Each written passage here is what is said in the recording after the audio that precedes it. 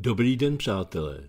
Je tu druhý den týdne, tedy je tu úterý a před námi je nadstavba včerejšího monitoru. Je tu pořad, co se nevešlo do včerejšího monitoru. Tak pojďme na to. Máme před sebou bez minuty hodinu. A hned na začátku se podíváme do Velké Británie a kruce si vezmeme Gatestone Institute. Socializovaná média neléčí. Krach britského systému sociálního zabezpečení. Jsem přesvědčen, že od začátků civilizace byla svoboda lidí omezována tichým a postupným pronikáním moci daleko častěji než násilím a náhlými uzurpacemi. James Madison Jednou z tradičních metod, jak lidem vnutit etatismus a socialismus, je zdravotní péče. Ronald Reagan Získání srdcí a myslí občanů jakékoliv společnosti je snaží dosáhnout slibováním almužen. Zejména to platí v době rychlé komunikace, emoce prodávají a je to také šikovná metoda, jak zadními vrátky plíživě převzít politickou moc – pokud jde o něco tak silně emotivního, jako je zdravotní péče, je velice obtížné argumentovat proti a zdůrazňovat negativní dopady ze strachu, že budete vypadat bezcitně. To je zřejmě také jeden z důvodů, proč se zdá, že socialisté mají monopol na altruismus. Tvrzení, že konzervativci jsou méně soucitní, protože mnoho základních potřeb nenabízejí zdarma, je ale milné. To, co socialisté nabízí, jsou příliš často jen slova a to, co nakonec skutečně poskytnou, bývá velmi nedostatečné. Jak se o tom přesvědčili například zklamaní občané Venezuely a Kuby. Tento typ signalizace cností, poskytování všeho všem zdarma, však bývá účinnou strategií nejen k získávání hlasů voličů, ale také k tomu, aby se předešlo jakékoliv změně hroutícího se sociálního systému – změně, kterou systém zoufale potřebuje, ale nikdy se jí nedočká. Stejně jako v případě zdánlivého soucitu, i tato signalizace ctností závisí na nevědomosti a důvěřivosti občanů. Člověk se přece nestane lepším člověkem tím, že bude hlasovat pro poskytování sociálních dávek, které jsou často získané podvodem nebo napůl podvodem, je to návnada, protože to, co se skutečně stane, nakonec ani zdaleka neodpovídá tomu, co bylo slíbeno. U mnoha lidí to však uspokojí jejich vnitřní potřebu být vnímán jako ten, kdo stojí na straně dobra, což sociální sliby vždy jsou, proč by jim jinak veřejnost věřila. Avšak rozdávání sociálních benefitů nemůže donekonečna poskytovat stabilní řešení problémů našich společností. Kdo ty rozdávané sociální dávky nakonec zaplatí?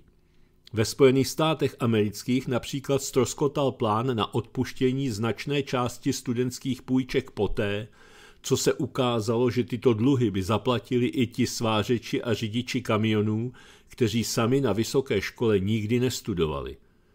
K tomuto závěru dospěli ještě předtím, než si uvědomili, že jejich dřina by financovala i studium módních oborů, které mnozí z nich považují za neseriózní a frivolní. Nějakou dobu se zdálo, že učitelské odbory lobují za to, aby učitelé měli trvalou dovolenou. Tady je poznámka překladatele, narážka na lockdown během pandemie COVID-19. Poté téměř úplně rezignovali na snahu učit čtení, psaní, počítání ve prospěch rasistické indoktrinace. Nezbývá než popřát mladým lidem vstupujícím do světa s takovým vzděláním hodně štěstí. Dlouho předtím, než bylo přibližně před stolety ve Velké Británii a USA zavedeno státní sociální zabezpečení, zajišťovaly základní potřeby chudým církevní charitativní organizace. Náboženské a filozofické zásady, které v průběhu dějin formovaly naši kulturu, od té doby vedly lidstvo ke snaze o spravedlivější společnost. Finanční pomoc, nemocnice, almužny a zajišťování stravy pro staré a chudé lidi existovaly již dávno před zavedením státních sociálních dávek, státem financovaných projektů sociálního bydlení a zdravotní péče. Postupem času, jak se prohlubovala odluka církve od státu, přešla řada břemen a povinností církve na stát. Postupný rozvoj socialistických a marxistických myšlenek mezi tím toto přerozdělování ještě prohloubil a zároveň zesílil pronikání státní zprávy do každodenního života občanů. Britský systém sociálního zabezpečení ve svém zavedení v roce 1945, ve Spojených státech v roce 1938, neustále bujel a byl nucen držet krok s neustále rostoucím počtem obyvatel. Nyní však imigrace, změny na pracovištích, masivní nárůst dávek v invaliditě spolu s rozšiřováním definice invalidity, délka doby, po kterou lidé zůstávají nezaměstnaní a stále více přebujelá byrokracie přispěly k tomu, že je tento zastaralý systém na pokraji zhroucení. Poměrně jednoduchá premisa, která stála za zavedením sociálních dávek ochránit nezaměstnané pracovníky a jejich rodiny před pádem do katastrofální chudoby, byla rapidně rozšířena a počet jeho klientů již dávno systém sociálního zabezpečení přetížil. Jednoduše řečeno, v očích mnoha lidí se jedná o experiment, který selhal. Je na čase jej přehodnotit a zvážit, zda by nebylo lepší vrátit se k jiným, produktivnějším formám rozdělování sociálních dávek. Bylo by také dobré zvážit, zda by se neměla oživit myšlenka státních investičních projektů, které by poskytly práci nezaměstnaným. Bývalý americký prezident Ronald Reagan se proslavil výrokem, že devět nejděsivějších slov v anglickém jazyce zní Jsem z vlády a jsem tu, abych vám pomohl. Reagan kdysi v souvislosti s bezplatnou zdravotní péčí a dalšími formami socializované medicíny naznačil, že je snadné zamaskovat totalitní program jako humanitární pomoc, protože lidé se zdráhají zamítnout projekt, který zdánlivě pomáhá těm, kdo potřebují nejen soucit, ale hlavně praktickou pomoc. Ronald Reagan také poznamenal, že jednou z tradičních metod, jak lidem vnutit etatismus a socialismus, je zdravotní péče. Jeho postřeh možná vysvětluje to, proč se koncept socializované medicíny stal klíčovým atributem mnoha politických kaus, jejíž ideologie silně čerpá z marxistických a neomarxistických myšlenkových směrů – Vysvětlovalo by to také cnostné pózy demokratické strany v USA a labouristů ve Velké Británii, kteří rádi slibují modré z nebe, pokud jde o prosazení jejich stranického programu nebo osobní kariéry. Za prvé, mýtus, že socializovaná medicína je ve Spojeném království zdarma, je právě jen a jen mýtus. Je sice pravda, že za návštěvu lékaře národní zdravotní služby nemusíte přímo platit, ale i když se jedná o něco naléhavého, tak na termín zákroku budete muset čekat, někdy i týdny až měsíce. Dokonce i před COVID-19 bylo objednání k odbornému lékaři provázeno problémy způsobenými stále se prodlužujícími pořadníky pacientů čekajícími na zákrok. Pokud je váš zdravotní problém neodkladný, tak musíte za poskytnutí lékařské péče jednoduše bojovat. Národní zdravotní služba nyní pacientům doporučuje, aby uvažovali o placeném soukromém zdravotním zákroku nebo aby zvážili sjednání soukromého zdravotního pojištění. Od března 2020, kdy byly pozastaveny osobní konzultace v ordinacích obvodních lékařů, se stává stále beznadějnějším úkolem i objednání telefonické konzultace. Mezitím náklady na jednotlivé položky na lékařském předpisu rok od roku rostou. Od roku 2010 do roku 2019 se platba za jednu položku na lékařském předpisu zvýšila o 26% na 8,8 britských liber. Od dubna 2021 se cena zvýšila na 9,35 libry za položku. Pokud užíváte několik léků trvale, tak se jedná o docela nákladnou záležitost. Poznámka překladatele – Chronicky nemocní pacienti a různé skupiny, například důchodci, mají výjimku a tyto poplatky například v Anglii neplatí. Vezmeme-li v úvahu, že na receptu jsou průměrně dvě položky, průměrného pacienta to tedy stojí 18,7 libry, a to, že lékárny vydávají denně cirka 2,7 milionů položek, více než 1900 za minutu, tak tato bezplatná zdravotní péče stojí Mailand. A pak je tu ještě zubní péče. Původní plán britské vlády na bezplatnou zubní péči a návštěvu očního lékaře musel být dramaticky omezen již v roce 1952, ekonomická realita to nedovolovala. Zubní ordinace sice nabízejí dotované ošetření pod hlavičkou Národní zdravotní služby, ale skutečnost je taková, že stále více občanů odchází k soukromým zubařům, protože mají na zdánlivě bezplatnou zubní péči zákonný nárok. Pokud máte bolesti a nemůžete se dočkat ošetření měsíce, což se stává poměrně často, a také proto, že alespoň část tohoto ošetření, například základní rentgenové vyšetření, stejně zaplatíte z vlastní kapsy, tak je často rozumnější zaplatit vše a využít soukromé zubní péče. Vysoká míra zdanění ve Velké Británii, nejvyšší sazba daně z příjmu činí 45% a běžná sazba je 20%, nutí mnoho lidí přemýšlet o tom, zda by nebylo lepší peníze strhávané z jejich příjmů na národní pojištění raději vynaložit na soukromé zdravotní pojištění. Za současného stavu věcí se zdá, že většina lidí, ti, kteří nemají chronické zdravotní potíže, platí za několik málo chronicky nemocných lidí, což je stejný obchodní model jako u soukromých pojišťoven. K rostoucímu zděšení přispívá i stále horší všeobecný dojem.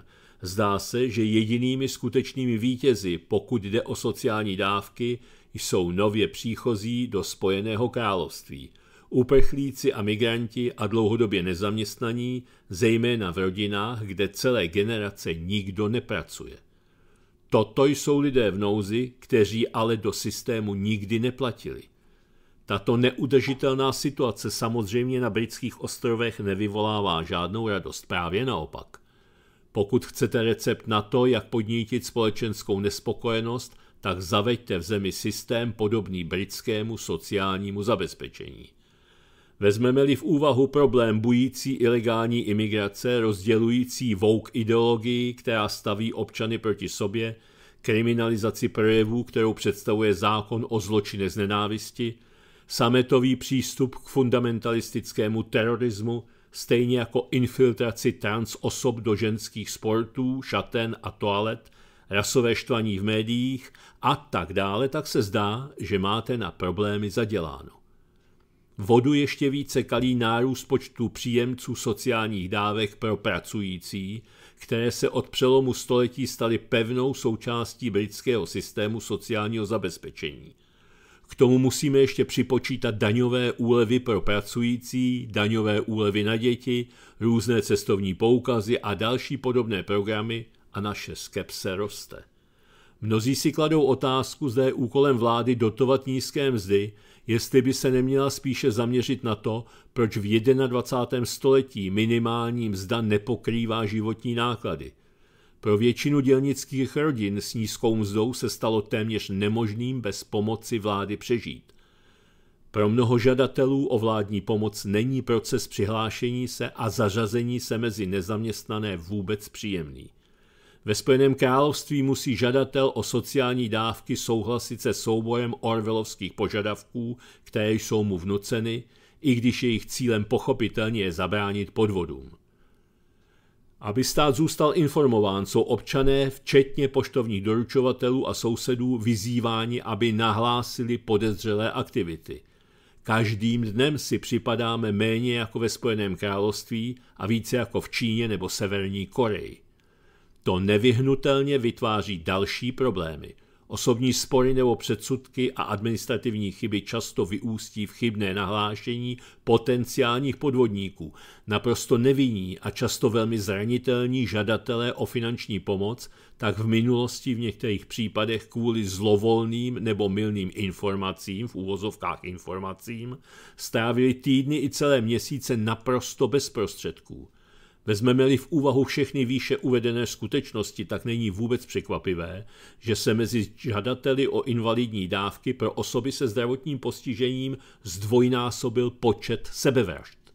Strmě roste také počet případů psychických problémů.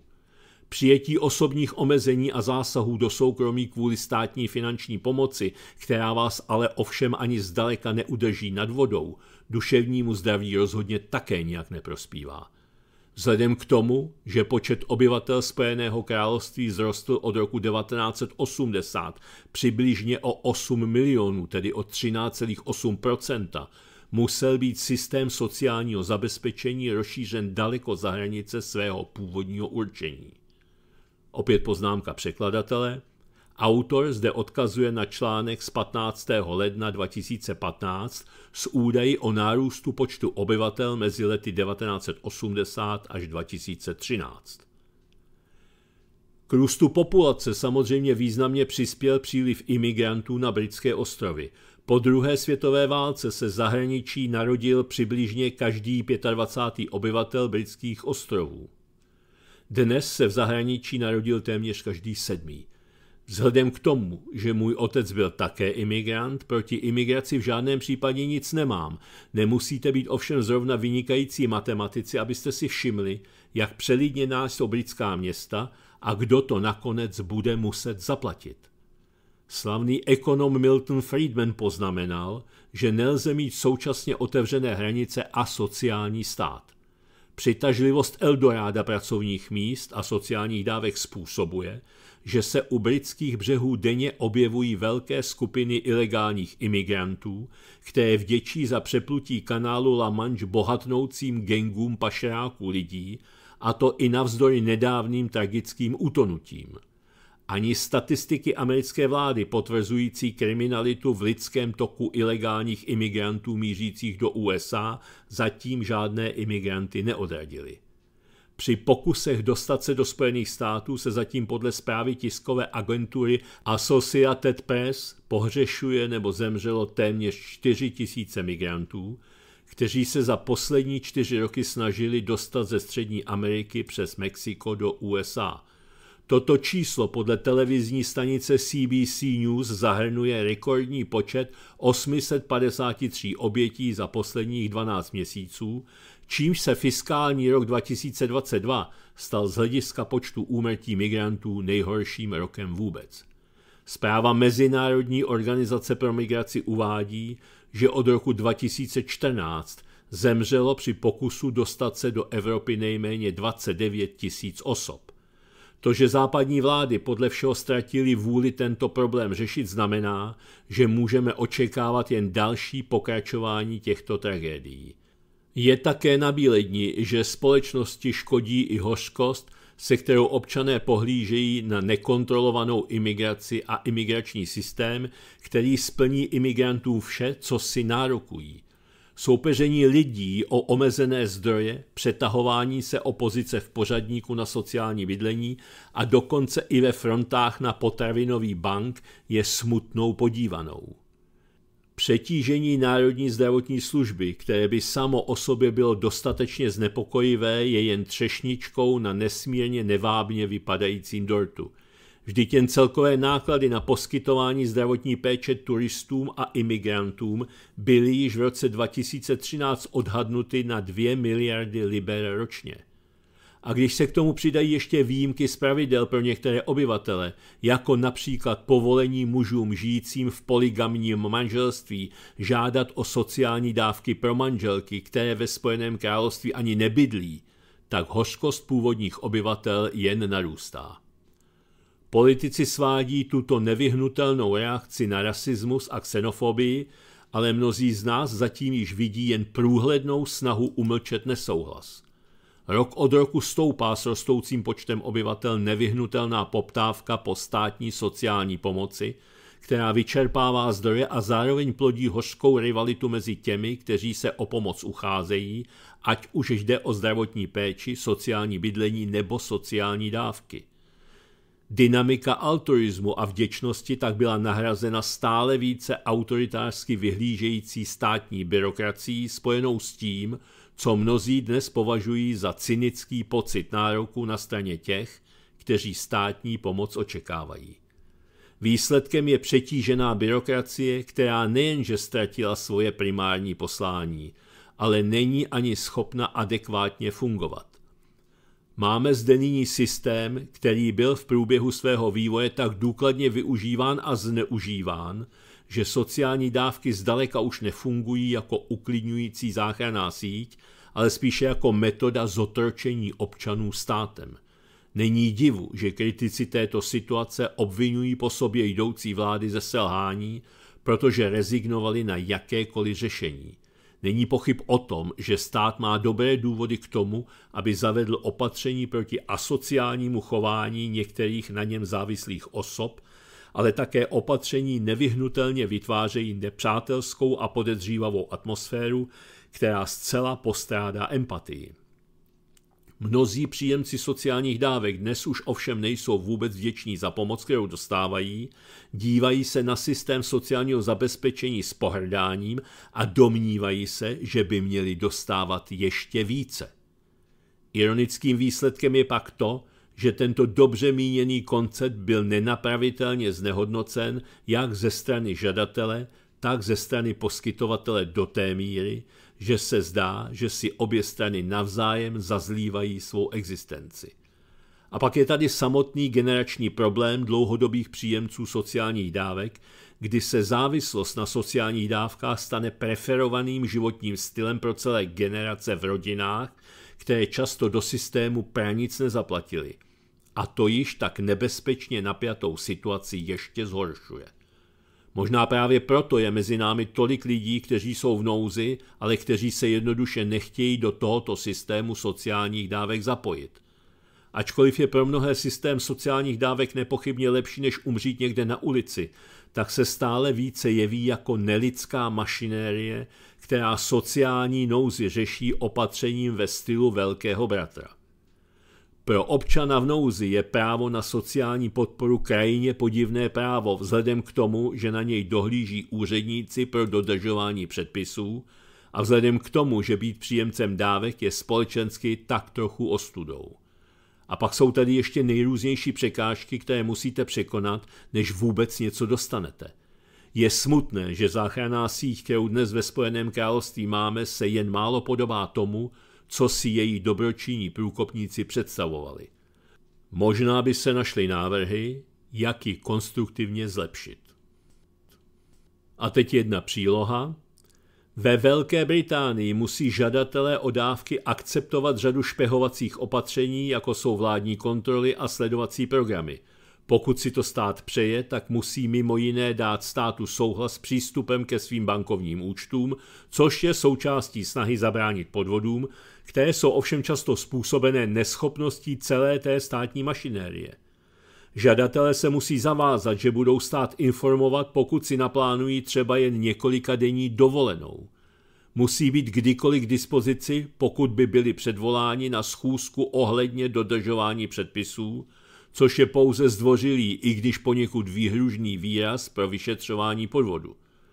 Rodiče samoživitelé musí informovat úřady, pokud s někým navážou osobní vztah, pokud jejich nový partner tráví v domově žadatele víc času, než je povoleno. V opačném případě mohou očekávat, že budou sledováni a pozváni k pohovoru o dodržování předpisů. Snadno se říká, pokud jste neudělali nic špatného, nemáte se čeho obávat, ale protože jsem takovou epizodu zažil, mohu potvrdit, jak může být taková administrativní chyba emocionálně a finančně zničující. V důsledku této své zkušenosti doufám, že bez ohledu na okolnosti už nikdy nebudu žádat o žádnou dávku, i kdybych na ní měl právo. Zřejmě nejsem ve Spojeném království jediný, kdo takto uvažuje. Pokud by se vám vše výše uvedené nezdálo dostatečně ponižující, tak žadatelé jsou také povinni informovat stát, pokud dostanou dar v podobě peněz nebo ceností, které předtím neoznámili, a týká se to dokonce i dárku k narozeninám. Tohle snad ani nemá cenu komentovat, jen je potřeba si uvědomit, že k nám ty západní maníry vždycky přichází se spožděním. Ovšem doba se zrychluje, takže Bůh ví, jak rychle to tady budeme mít taky. Ostatně není přece ostudou jít si pro sociální dávku, pravil premiér, není-liž pravda. Nebo to byla Pekarová? A teď velmi krátce z Francie. Použijeme Le Courrier de Stratégie. Je maska povinná nebo ne? Aby bylo jasno i pro českého čtenáře či posluchače, maskou je myšlen respirátor. V pátek jsme se zmínili o možném návratu povinné masky. Je zřejmé, že o této otázce ještě nebylo rozhodnuto a vláda zřejmě předpokládá určité potíže, pokud by byla zavedena. Nyní panuje zmatek. Jak jsme informovali v pátek, vláda se dotazovala společnosti VARS, zda má smysl vrátit se k povinné masce. Takové odmítání vědců obvykle předznamenává velmi politický postoj k danému tématu. Sám Macron prohlásil, že očekává, že VARS zaujme k tomuto tématu stanovisko. Konečně ministr Brown zahájil o tomto víkendu první manévry pro zpětný chod. Tvrdil, že jeho ruka se nezachvěje, pokud jde o donucení francouzů nosit masku, ale zároveň se prohlásil za odpůrce nátlaku. Jinými slovy, ruka se netřese, ale ruka se nechce podepsat. Je to tedy záležitost, kterou je třeba sledovat, ale pro covidisty to není dobrý začátek. A protože to předchozí bylo skutečně velice krátké, tak budeme pokračovat ze stejného francouzského zdroje. Titulek Briefing podle Parisien má Macron přesvědčení. Slyšeli jste Emanuela Macrona říkat, že nikdy nezavede povinné očkování a pak prohlásil, že chce naštvat neočkované lidi – Slyšeli jste ho vysvětlovat, že zdravotní průkaz nikdy nebude sloužit k filtrování vstupů do barů a koncertních sálů a pak se rozhodl opačně a usoudili jste, že je to obyčejný stroj na lži. Deník Parisien Bernarda Arnolta vás chce přesvědčit o opaku. Emmanuel Macron se k situaci vyjádřil v obyčejném, samozřejmě v uvozovkách obyčejném rozhovoru, který byl spojen s pořadem na televizní stanici TF1. Byla to pro něj příležitost znovu vysvětlit svou vizi světa, která je tak blízká vizi neokonzervativců, kteří Bidena obklopují. Macronovi miliardářčí přátelé Boydger a Arnold se proto snaží obnovit prezidentovu pověst, která byla vážně poškozena poklesem popularity. Vzpomínáme si, že Échos, tedy ozvěny, vlastněný stejným Arnoldem, zaznamenal 3% nárůst popularity, když Le Figaro oznámil opak. Rozhovor prozradil nervozitu kasty o tomto víkendu. Prezident musí promluvit, aby zvýšil svou popularitu. Macron, podajný spojenec amerických neokonzervativců. Během těchto rozhovorů Macron přednesl svůj osobní katechismus, který se podivně blíží korpusu, který prosazují neokonzervativci obklopující Bidena poté, co bojovali proti Trumpovi. Obsahuje všechny složky toho, co oslovuje tyto sektáře, kteří stojí v čele ekologického protekcionismu nebo války na Ukrajině. Macron tak odmítl kritizovat zákon o snížení inflace, který Spojeným státům vyhrazuje manko americké energetické transformace. Nepřímo vyzval Evropu, aby napodobila příklad svého spojence. O odmítavém postoji Evropské komise jsme se již zmínili. Macron navíc podpořil americkou doktrínu na Ukrajině, protože Zelenský mohl požadovat návrat Krymu do jejího svazku – je dobře známo, že tento požadavek, který se nezakládá na žádné seriózní historické návaznosti, je červenou linií, jejíž překročení Rusko nemůže akceptovat. Macron bezstarostně srovnává krymskou otázku s otázkou Alsaska a Lotrinska. To znamená, že Francie rezignovala na skutečnou politiku, která by umožnila návrat k míru. Škrty v dodávkách elektřiny, předělávka vakcíny. Pokud jde o záležitost, která se francouzů dotýká mnohem více nebo alespoň mnohem bezprostředněji, a to o výpadky elektřiny, Macron vytáhl arzenál davové manipulace, který již použil k prodeji vakcíny. Vysvětlil, že pokud bychom spontánně přijali nízkouhlíkovou strategii snižování spotřeby, nedocházelo by k výpadkům proudu. Pokud se budeme všichni držet plánu střízlivosti, který předložila vláda, pak ano, budeme schopni přečkat i chladný prosinec a leden tohoto období. Záleží na nás, řekl. Vzpomínáte si? Řekl také, že by neexistovala povinnost očkování, kdyby se každý nechal očkovat svobodně. Doufá, že stejné příčiny, stejné účinky. Připomínám, že Le Courier vytáhl ze skříně vládní nízkouhlíkovou strategii zveřejněnou v březnu 2020, která předpokládá 30% pokles spotřeby energie v domácnostech v letech 2020 až 2025. Fake checkři nám vysvětlili, že tato hypotéza je konspirační. A je to tady. Další konspirační předpověď, která se naplnila. Důchodová reforma proběhne. V rámci francouzsko-francouzské debaty přinesl Macron svůj kámen, aby oznámil, že důchodová reforma se uskuteční. Vláda prozatím stanovila hranici pro odchod do plného důchodu na 65 let v roce 2030. Macron tak daleko, jako je tato míra přesnosti, nezašel. Můžeme si však myslet, že má tento směr na mysli. Zatím hraje hru na zdánlivé vyjednávání se sociálními partnery.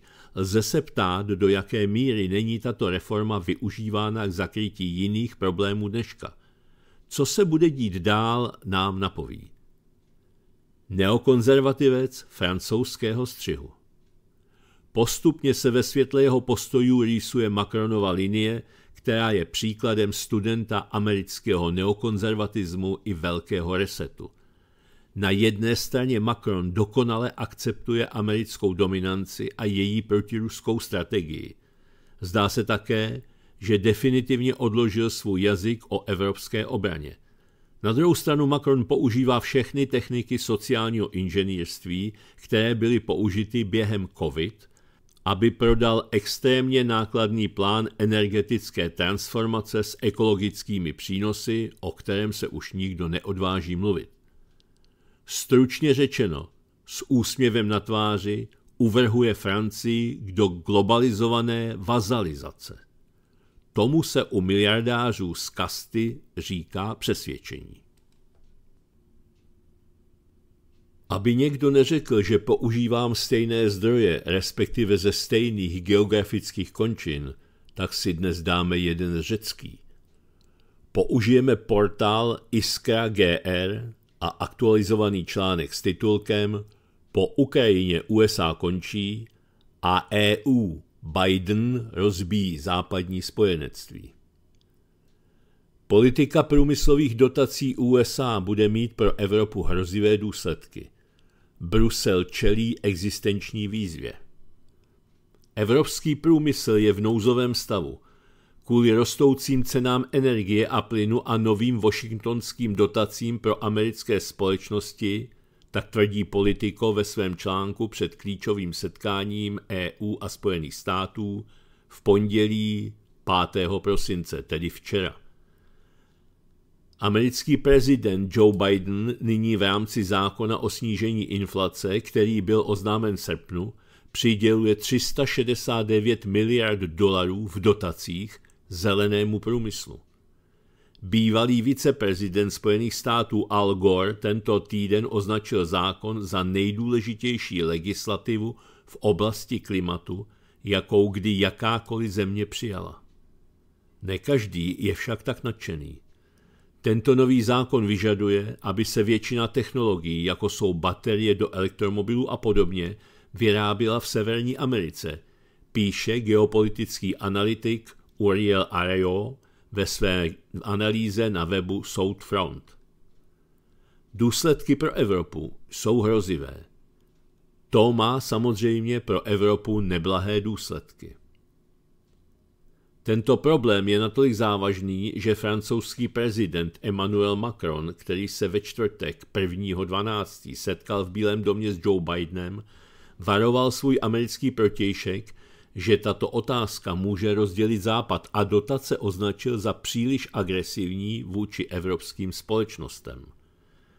Ačkoliv Gore začátkem týdne vyzval Evropany, aby v této otázce s USA nebojovali, ale spíše se k ním připojili, obchodní spor mezi Washingtonem a EU skutečně probíhá. Za prvé, evropští představitelé obvinili USA, že ze současného rusko-ukrajinského konfliktu profitují, zatímco Evropané sami trpí více. Americký průmysl skapalněného zemního plynu LNG se jistě těší velkým ziskům, zatímco evropský kontinent se připravuje na nadcházející zimu a ceny LNG prudce rostou. Pozadí zrady Je dobře známo, že Washington dlouhodobě zrazuje své nejvěrnější spojence. Evropští představitelé jistě nezapomněli na tehdejší náměstkyni ministra zahraničí USA Viktorii Nulandovou a její hanlivá slova o EU v uniklém telefonátu z roku 2014, kdy použila slovo začínající F. Pokud tento únik odhalil určitý postoj Washingtonu k evropským spojencům, nezdá se, že by se tento postoj příliš změnil. V obtížné situaci, které Evropa v současné době čelí, se uprostřed eskalujícího vojenského konfliktu v Eurázii prolínají geopolitické a geoekonomické otázky. Válka na Ukrajině začala v roce 2014. Ať se nám to líbí nebo ne, tvrdou pravdou je, že probíhající konflikt na Ukrajině ve skutečnosti začal před osmi lety dlouho ignorovanou humanitární katastrofou v Donbasu a opakovanými útoky Ukrajiny na tamní civilní obyvatelstvo. Tento konflikt má zase kořeny v politice rozšiřování NATO pod vedením USA a obkličování Ruska ze strany NATO. Kromě geopoliticko-vojenského problému však existuje také geoekonomický a energetický konflikt. V prosinci 2020 Auracho psal o tomto úhlu pohledu a o tom, že Washington vždy chtěl, aby Evropané kupovali velké množství amerického LNG, který je ve skutečnosti dražší, přestože Rusko je v Evropě. USA proto vždy aktivně působili proti jakékoliv rusko-evropské spolupráci v oblasti plynu prostřednictvím řady legislativních opatření a sankcí, a jak už to tak bývá, vládní korupce a soukromé zájmy se zde prolínají s geopolitikou a geoekonomikou USA. Bidenovo předběžné prohlášení o zničení Nord Streamu. Ačkoliv současný konflikt na Ukrajině vystupňoval dramatický nárůst cen energií v Evropě, tento nárůst začal již před rokem 2020 a je dobře známo, že se mu dalo alespoň částečně předejít, kdyby nebyl Nord Stream 2 odložen.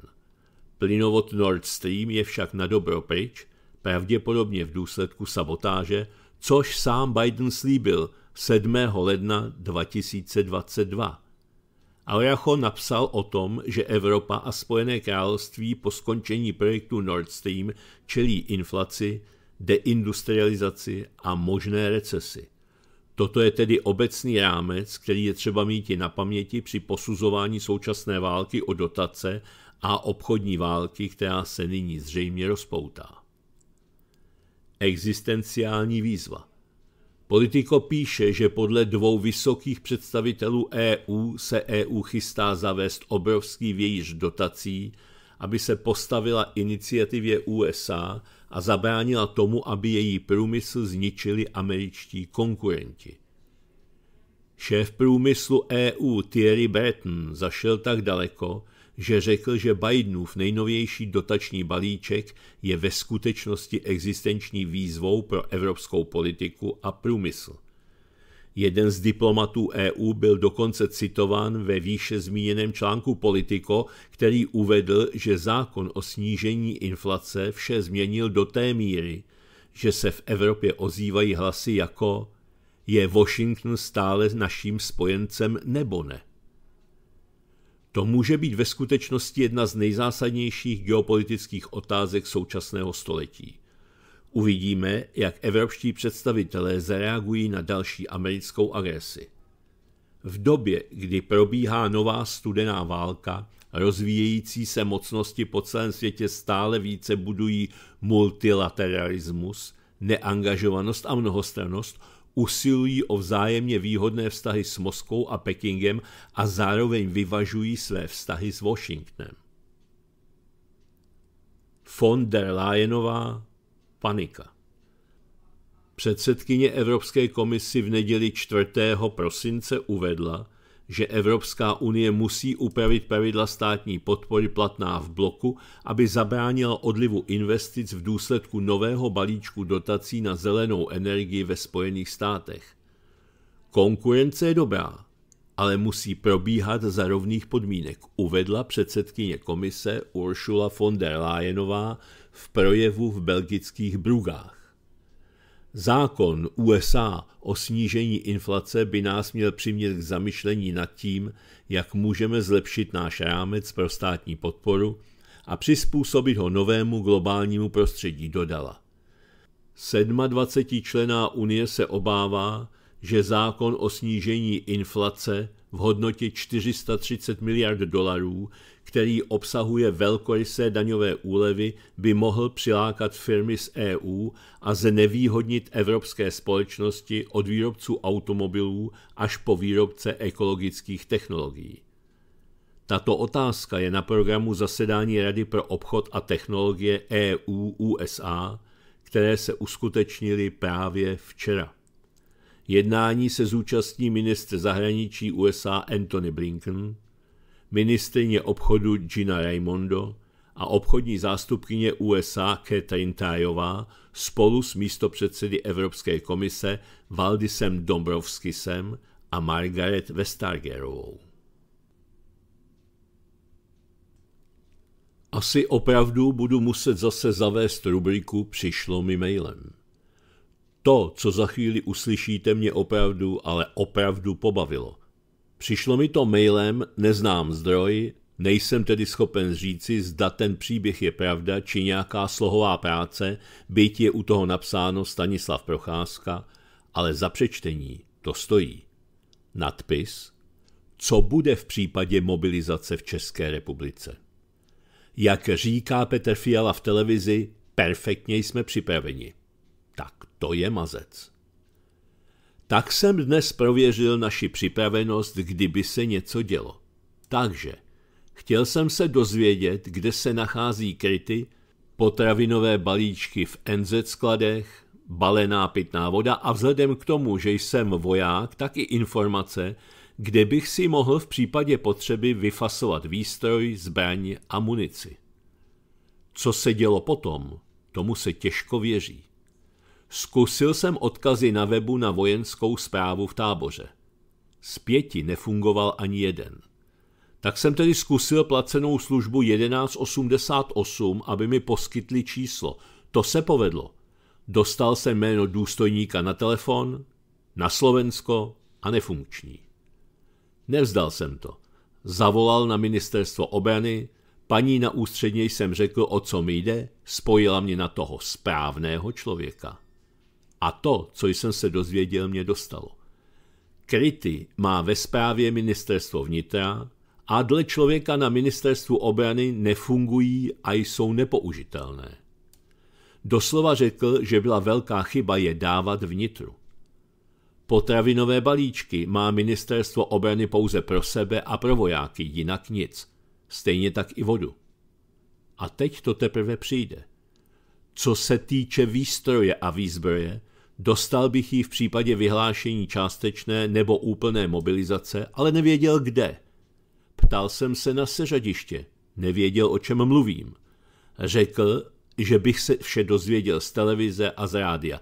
Když jsem oponoval, že je pravděpodobný blackout a použití pulzní elektromagnetické zbraně, nevěděl, co to je, tak jsem mu to vysvětlil. A že tedy televize a rádio není asi úplně spolehlivé. Pozor. Omluvil se, že má moc povinností a hovor ukončil. Zvukový záznam mám, kdyby někoho zajímal. Konstatování. Putine, nech tanky doma, na tyto blbce ti stačí prak. Tak to byla taková neveselá humoristická vložka a pojďme dál. Teď je tu komentář Lubomíra Mana, který byl otištěn ve zvědavci. Jourová a Musk a dvojí pohled na demokracii. Kdo ví, z jakých knih a necyklopédií pozbírala místo předsedkyně Evropské komise a současně i komisařka této komise pro spravedlnost a rovné příležitosti Věra Jourová své vědomosti o demokracii, ale současný stav těchto jejich vědomostí o daném předmětu je tento. Demokracie je takové uspořádání společnosti, ve které všichni její členové, to je lid, mají na společenské problémy stejný názor, a to názor vládní. V tomto svém názoru musí být lid podporován a utvrzován pokud možno všemi existujícími médii, a to tak, aby v konečné fázi, a to jako vrcholný výkon demokracie, vznikl národ jednotného názoru a jednotné vůle, který nebude nahlodáván žádnými názory odlišnými či dokonce protichůdnými. Čili jeden národ, jedna vůle a snad i jeden vůdce, což je například v současné České republice předseda vlády. Je ve zkratce smysl demokracie, jak si jej představuje Věra Jourová, a vše ostatní je dle ní nedemokratickým mamem a klamem, před nimiž musí demokracie rázně zabouchnout dveře a zamknout je na deset západů. Že uvedená charakteristika Věry Jourové ani v nejmenším nepřepíná, dokázala naše slavná krajanka v posledních dnech, kdy své, řekl bych, ocelové pojetí demokracie postavila proti nepevné a rasputicové představě o témže nejbohatšího muže současného světa Elona Muska. Ten, jak známo, odkoupil nedávno jednu z největších světových sociálních sítí Twitter, tedy štěbetání, a při té příležitosti neopatrně utrousil, že snad, a to pro větší objektivitu, bude ochoten tlumočit na Twitteru i jiné, než současné západní pohledy na světová dění. Což neměl dělat, protože Věra Jourová byla ve střehu a pohotově Maskovi v rozhovoru pro Bloomberg pohrozila následujícím – Twitter bude potrestán sankcemi, pokud ze své sociální sítě odstraní cenzuru. Absence cenzury způsobí šíření ruské propagandy. Jourovou zvlášť děsí možnost, že na sociální síti Twitteru objeví se RT, tedy ruská televize a Sputnik. A nepodceňujte Evropskou komisi, pokud Twitter začne zneužívat zavádějící obsah – pohrozila Maskovi co nejotevření Jourová. Inu máme být na co hrdi. I nejbohatší muž planety ve svém prozápadním postoji kolísá, ale naše krajanka zůstává nekompromisní. Buďme jí za to vděční, jsme malý národ, ale máme velké lidi. Zase po čase si dáme první zprávy. Vládní babotřesky – kterak Pekarová Nerudovou protlačila. Vládní koalice spolu před několika týdny oznámila, že v přímé volbě prezidenta podporuje hned tři kandidáty, jmenovitě senátora Pavla Fischera, ekonomku Danuši Nerudovou a generála ve výslužbě Petra Pavla. A ačkoliv se mohlo zdát, že se vládní trojkoalice na kandidátech shodla, uvnitř to bylo na kordy – Lidovecký europoslanec Tomáš Zdechovský otevřeně prohlásil, že Fischer na to nemá a že Nerudovou protlačila šéfka TOP 09 Markéta Pekarová Adamová a nezůstalo jen u toho, prozradil ještě mnohem víc. Opoziční hnutí ANO, které vyslalo do prezidentské volby svého šéfa Andreje Babiše, se koalici spolu směje, že v boji o hrad podpořila hned tři kandidáty. Europoslanec Tomáš Zdechovský v rozhovoru pro CNN Prima News konstatoval, že koalice spolu nedokázala najít tak silného kandidáta, který by dokázal porazit Andrej Babiše. S výjimkou snad premiéra Petra Fialy, který však do prezidentského boje odmítl vstoupit, jelikož se cítí jako nejlepší premiér České republiky všech dob a proto v tomto úsilí a pro blaho našeho národa hodlá pokračovat. Europoslanec Dechovský také řekl, že on sám hodlá volit generála ve výslužbě Petra Pavla. A neváhal skritizovat jak ostatní příznivce generála ve výslužbě, tak i příznivce Danuše Nerudové. Za to, jak se tyto tábory vzájemně slovně ostřelují. Už mě všichni iritují tím, jak jeden nadává a obvinuje druhého. Chtěl bych upozornit všechny příznivce jedné nebo druhé strany po prvním kole – se musíme všichni sebrat a jít volit toho, kdo je schopen porazit Andreje Babiše. Rozhádaní a rozdělení společnosti bychom si měli nechat na jiný typ voleb, ne na tento, aby to nedopadlo jako v posledních prezidentských volbách, kdy zvítězil Miloš Zeman. Nebral si servítky Zdechovský. Už v průběhu měsíce října dával najevo, že se těší, až prezidentské volby skončí.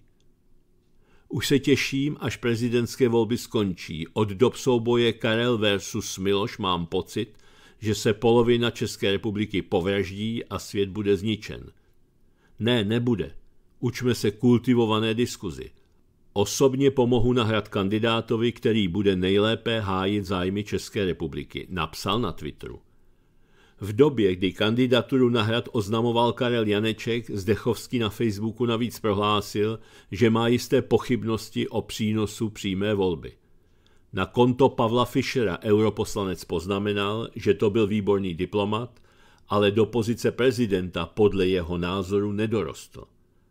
Ale mezi lidovci i v části ODS má prý Pavel Fischer nemalou podporu.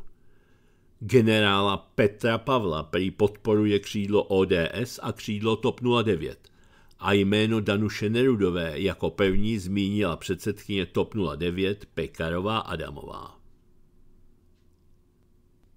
Zdechovský, Zdechovský, nebylo by lepší jít pomáhat někam jinam, kde byste byl alespoň trošku užitečnější?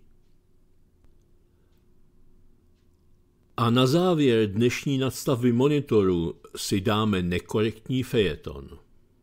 Můžeme jej nazvat Janečkova pravděpodobnost zvolení. Kdysi, kdesi jsem se dočetl, že Karel Janeček, který údajně získal miliardy korun díky svým matematickým dovednostem, není zařazen mezi favority prezidentských voleb. Nicméně on sám si věří – a má to matematicky spočítané. Důležitou roli v jeho propočtech hraje číslo phi. Ví vůbec někdo, co je to za číslo? A dále se tam psalo, že Karel Janeček má také rád čísla 21 a 12. Číslům dost věří, konkrétně tato dvě jsou podle něj velmi důležitá z mnoha důvodů, takže si schůzky domlouvá třeba na 12.21. Proč by měl být Janeček prezidentem České republiky? No proč, ptám se já. A hned si odpovídám, to je jednoduché. Písmeno fí je takové magické, protože voko bere, nebo ne? Ale že by i pospátku. Fí mimo jiné znamená zlatý řez v umění a architektuře. Ovšem, že by ten Janeček byl umělec, o tom bych silně pochyboval – neb není umění chodit si na americkou embasy pro nalejvárnu. A dále písmeno Phi také značí ve fyzice relativní vlhkost vzduchu. A tady jsme u jádra pudla. Tady je to pochopitelné. Jde o Janečkův a jeho řídících orgánů vlhký sen o tom, že zrovna on bude vedoucí loutkou v manéži cirkusu české politiky. Jenže ouha. Teď se ukázalo, že ani nedokázal se sbírat 50 tisíc podpisů. Platných podpisů. Což mě nepřekvapuje, protože když sám neumí správně vyplnit v podpisovém archu kolonku s číslem občanského průkazu u svého jména, takže mu neuznají ani jeho vlastní podpis, tak co pak může chtít od nějakých placených hostesek, trpících dysgrafií, možná taky dyslexí a Bůh ví jakou další dys, třeba dyskalkulí, takže nedovedou ani správně napsat číslice, natož spočítat, kolik mají hlasů na podpisovém archu. Ty hostesky, které si najal, sice uměli špulit rty a zadky, ale správně zanést podpisy do papíru byl pro ně nadlidský úkol. Inou produkty našeho inovovaného školství a absolventky tolik potřebných sociálních oborů Karlovy univerzity. Je to ale stejně zvláštní. Prý matematik a nechápe rozdíl mezi jedničkou a dvojkou. Ale je docela možné, že mu ministerstvo při přípravě celé akce ukázalo Topolánkovsko-Kalouskovskou jedničku. Pak už jsme tedy v obraze. Na druhou stranu, možná je to skutečně geniální matematik, jenže znáte to. Byli tu i géniové, na které sice v určitém oboru nikdo neměl, ale maminka jim musela až do smrti zavazovat kaničky u bod a utírat nudly u nosu. Ale co bychom se vzrušovali? Dotáhl to až na prezidentského kandidáta, takže uznejme, že je skvělý, když se tak vypracoval a sám. To je potřeba zdůraznit. Když se na to podíváme z jiného úhlu, tak lidé volí v hojném počtu různé psychopaty, lháře, dotační podvodníky, tuneláře, křivopřísežníky, po případě kšeftařsky z diplomy, ale slumeny typu Janečka jsme se zatím ještě nesetkali. Pro pochybovače je třeba zdůraznit to, že pro Janečka není vůbec žádný problém si koupit na trhu databází údaje spousty lidí se jmény, daty narození i s rodnými čísly. To jsou údaje, které se časem nemění, tedy pokud zrovna není někdo z ničeho nic nebinární, či ráno žena, v poledne muž a večer pes. Tady, aby se v tom prase vyznalo. Ta koupená data můžou pocházet i z Bůh ví jak staré databáze, ovšem číslo občanky či řidičáku se čas od času změnit může a nikdy jsem neslyšel, že by existovala nějaká databáze podpisů, která by se dala koupit. Takže nastal problém. Ale je také možné, že se jedná o celosvětové spiknutí nejspíš reptiliánů, kteří jsou si vědomi jeho kvalit a schopností spasit svět – což nemůžou potřebovat a proto mu to zatrhli. Není přece možné, že by byl docela obyčejný trouba, co se svým mocným IQ a matematickým zaměřením neumí počítat nebo psát správně čísla. Ale nakonec podívejme se na to pozitivně. Janeček může být rád, že ho vyřadili, protože si tím ušetří obří trapas. Tvrdil, že má jako geniální matematik spočítané, že má nejvyšší šanci vyhrát, a to konkrétně s 61,8 desetinami procenta. V reálu, kdyby ho tam pustili, by byl rád, kdyby se dostal na upocená 2%. A klidně si mě kritizujte. A jsme na konci dnešní nadstavby monitoru.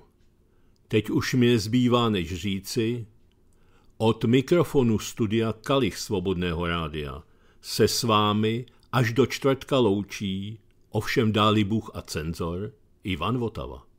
Naschledanou.